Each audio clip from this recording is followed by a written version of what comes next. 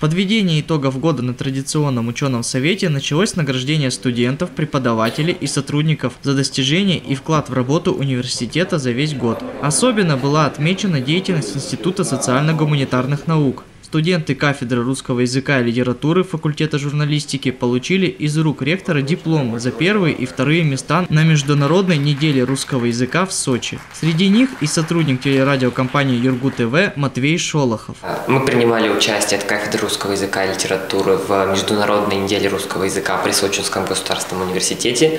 Все, а, кто участвовали от нашей делегации, все получили первые и вторые места. Я получил а, первое место за конкурс «Ораторский марафон» марафон, второе место за конкурс а, «Лучший декламатор» и самая большая гордость – это первое место в научной конференции «Русская речь и мыслительная культура. Проблемы эффективной коммуникации». Исследование мое было посвящено интернет-мемам и их лингвистическому аспекту. Это очень круто, когда такие исследования признают на международном уровне, и это, мне кажется, а, добавляет почета нашей кафедре, нашему университету. Также была отмечена значимость деятельности телерадиокомпании Юргу ТВ. Директор Сергей Иванович Гордиенко получил почетную грамоту за неоценимый вклад в работу университета.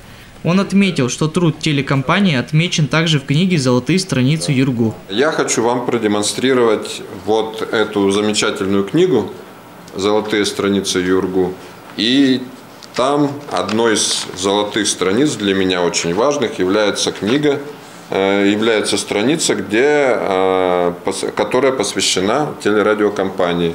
Так что все, что говорилось на заседании ученого совета телекомпании и все заслуги, которые там были перечислены, это заслуги коллектива телерадиокомпании. На ученом совете были подведены итоги новых перспективных направлений развития университета, элитного образования и проектного обучения. В этом году началась реализация 31 проекта в различных направлениях, а в программе элитного образования принимает участие более 500 студентов – об остальных достижениях университета и планах на будущее рассказал ректор Александр Шестаков. Год был напряженный, университет активно работал и в научном плане, и в образовательном плане, и в расширении международного сотрудничества по всем направлениям у нас есть серьезные успехи.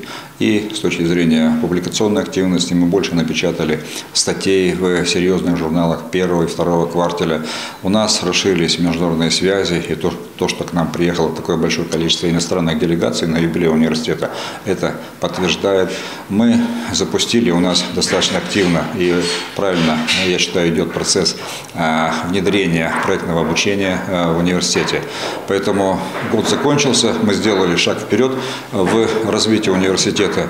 Ну и после отдыха и после празднования Нового года нам нужно подумать о том, а, хотя мы уже подумали, о том, что нужно сделать для того, чтобы в следующем году сделать следующий шаг вперед в развитии нашего университета. Телерадиокомпания присоединяется к поздравлениям университета с Новым годом и желает достижения новых высот, открытий и движения только вперед.